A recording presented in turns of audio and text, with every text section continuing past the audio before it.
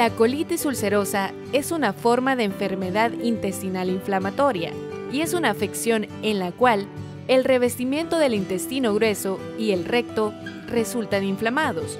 La causa de esta enfermedad se desconoce. Las personas que padecen esta afección tienen problemas con el sistema inmunitario.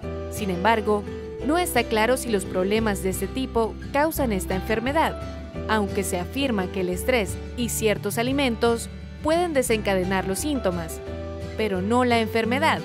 La colitis ulcerativa puede afectar a cualquier grupo de edad. Hay picos en edades comprendidas entre los 15 y 30 años y de nuevo entre los 50 y 70 años. La enfermedad puede comenzar en la zona del recto. Puede comprometer todo el intestino grueso con el tiempo también puede empezar en el recto y otras partes del intestino grueso al mismo tiempo.